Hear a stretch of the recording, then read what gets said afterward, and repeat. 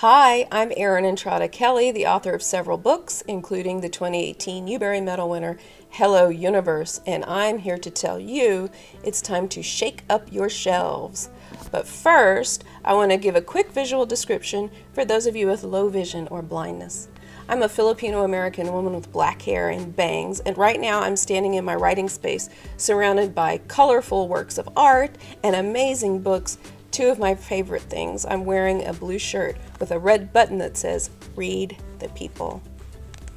So I've written several books. Um, all of them have diverse characters and have themes of otherness, empathy, um, and the power of the small but mighty. But today I want to talk about one title in particular, my first fantasy, Lalani of the Distant Sea.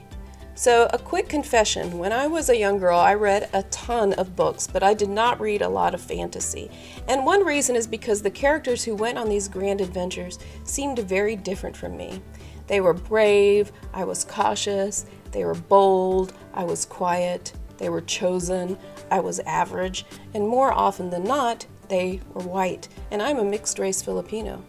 At a time when I struggled to find even characters who had black hair, much less multi ethnicity, I came to believe that girls like me really didn't go on adventures, but we both know that is not true.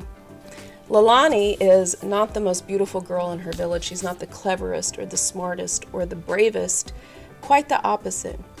So I set this unlikely girl on a journey because of her one power, her power for compassion and empathy.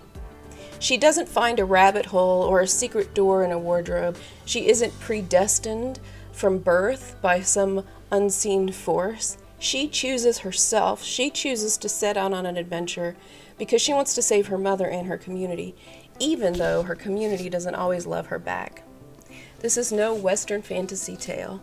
Lalani is motivated by uh, very deeply held Filipino values like community, family, selflessness, and resilience. The story is told in first, second, and third person because I wanted readers to experience the journey from all angles. And I think we both agree that young people are capable of seeing all sides of a story if we give them the tools to do so.